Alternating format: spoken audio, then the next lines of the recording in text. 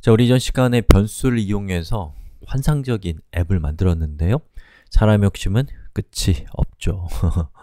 자, 어떤 욕심이 저는 또 생기냐면 우리 프로그래머들이 들이 좀 부끄러워하는 거.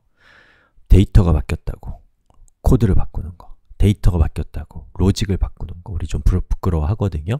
무슨 얘기냐면 만약에 우리가 받은 돈이 만 원이 아니라 2만 원짜리 물건을 우리가 판매했다. 그럼 어떻게 해야 돼요? 코드를 열고 다시 말해 이클립스를 켜고 코드를 열고 거기를 수정해야 된단 말이죠. 이거 좀 부끄럽단 말이에요. 그래서 지금 우리 애플리케이션에 이제 뭐가 필요한 거예요? 입력값을 주면 그에 따라서 서로 다른 출력값을 만들어내는 애플리케이션을 만들고 싶어진 겁니다. 자, 그러면 어떻게 하면 되는지 우리 이전에 살펴봤지만 복습 차원에서 같이 한번 봅시다. 자, 일단은 이 args라는 저 값으로 입력값이 들어오도록 약속되어 있고 이클립스를 쓰는 경우에는 자, 여기 클릭해보면 어, run configuration을 클릭했을 때 여러분이 만든 account app이라고 하는 항목이 자바 애플리케이션에 있어야 되고요 없으면 실행을 한번 시키고 다시 해보면 들어있을 겁니다 자, 그리고 여기서 아기먼츠라고 되어 있는 부분이 바로 입력값을 입력하는 부분인데 저기다가 여러분이 1, 10, 100, 1000, 만, 점, 0 이라고 입력값을 주고 어, 그 다음에 여기 있는 요 실행의 입력값 2만.0이라는 것을 알리기 위해서 이름을 바꾸고요. 그리고 apply를 하게 되면 항목이 업데이트가 됩니다. 자, 그리고 일단은 close. 그리고 args에 들어있는 값 중에서 첫 번째 값 프로그래밍에서는 0부터 counting하죠. 0이라고 하면 되는데 이렇게 했을 때 에러가 존재하는 이유는 이 args라고 하는 우리 아직 배우지 않았지만 데이, 데이터 타입상으로는 문자 열을 값으로 하는 배열이거든요. 그 배열의 어, 데이터 타입은 문자 열인데 그 문자 열을 우리가 더블 데이터 타입에 넣으려고 했더니 에러가 난 거예요. 자 그럼 이런 문제 어떻게 해결해야 돼요? 당연히 검색이 중요합니다 자 제가 지금 하고 싶은 것은 String을 뭘로 바꾸고 싶어요? double로 바꾸고 싶다 어디서요? 자바 자 이렇게 검색하면 엄청나게 많은 검색 결과가 나올 것이고 그 중에서 예제를 보면 여기 있는 요 double, parse double 얘인 것 같아요 카피해서 적용을 해보는 것이죠 자 이렇게 생겼습니다 자 이름을 딱 봤을 때 parse parse는 이제 분석하다 라는 뜻인데 더블. 그래서 들어온 문자 열을 double형으로 바꾼다 이런 뜻이에요. 자 그리고 한번 실행시켜 볼까요? 하나, 둘, 셋. 자, 보시는 것처럼 2만이 들어간 것을 볼 수가 있고 여러분 여러 가지 실험을 하고 싶거나 아니면 여러분이 만들고 있는 이 애플리케이션에서 여러분이 자주 사용되는 것들을 추가하고 싶으면 이걸 클릭해서 오른쪽 클릭, Duplicate 그리고 AIGS에서 이번에는 입력값으로 4를 주고요. 4만. 여기 있는 값도 이렇게 바꾸는 거죠. 자 그렇게 해서 apply에서 저장을 하고요. run을 눌러보면 보시는 것처럼 입력값이 4만원이고 그리고 그 밑에 있는 값들은 4만에 맞게 달라진 결과를 볼 수가 있습니다. 자 그런데 이제 또 실행할 때마다 이클립스를 키는 건 이건 참 별로잖아요? 그럼 이제 우리는 뭘 꿈꿔요? 이클립스 없이 아주 간편하게 우리가 만든 자바 애플리케이션을 실행하고 싶다라는 욕망이 생기잖아요? 그럼 어떻게 하면 될까요? 자, 일단은 지금 우리의 프로젝트 경로를 찾아내야죠. 자, 프로젝트를 선택하시고 오른쪽 클릭해서 프로퍼티스로 갑니다. 자, 거기에 보시면 경로가 이렇게 있거든요. 이 경로를 일단 카피를 저는 했습니다.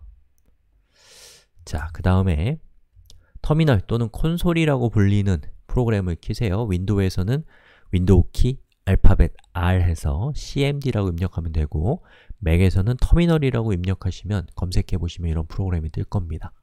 자, 그럼 이제 제가 cd 그리고 이렇게 붙여넣기 해서 이 경로로 들어오는데 지금 저는 경로에 이렇게 띄어쓰기가 있기 때문에 이렇게 하면 문제가 있을 거예요. 그래서 따옴표를 묶어주는 거예요.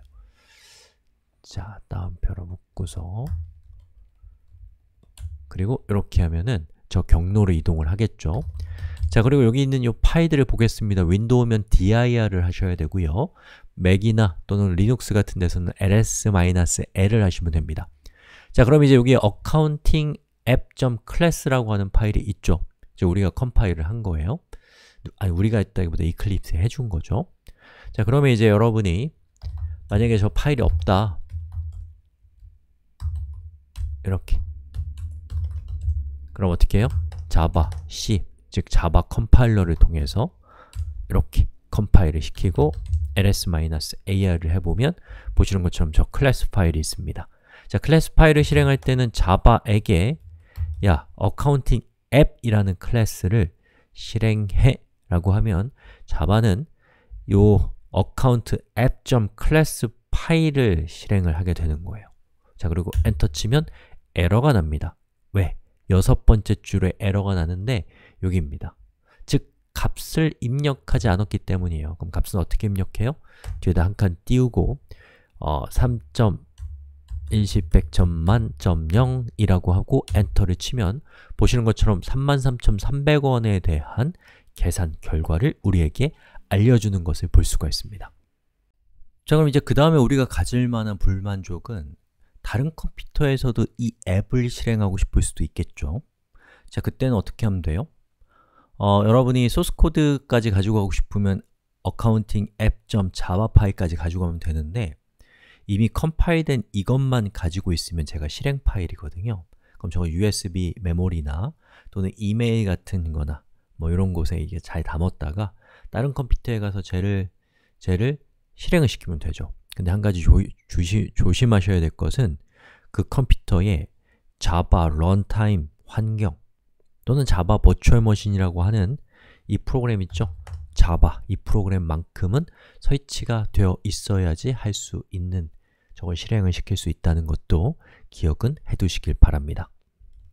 자, 근데 사람의 욕심은 또 끝이 없잖아요. 그래서 여러분이 만약에 어떤 컴퓨터에 자바 버추얼 머신조차도 설치 안 돼 있는 컴퓨터에서 실행하고 싶다. 그러면 런치4j와 같은 이런 어, 솔루션들을 좀 찾아서 이런 어, 소프트웨어를 찾아서 사용을 하시면 얘를 이용하면 여러분이 짠 그 파일을 감싸는 거예요.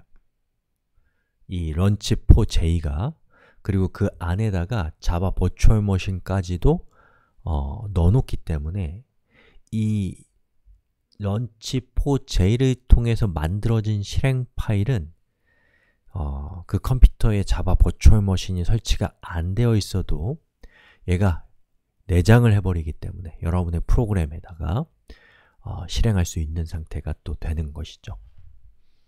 자, 이렇게 해서 입력값을 통해서 서로 다른 결과를 만들어내는 프로그램을 우리가 만드는 법을 살펴봤고 이것만으로도 이전에 우리의 프로그램보다 훨씬 더 훌륭한 상태가 된 게 느껴지시죠? 여기까지 하겠습니다.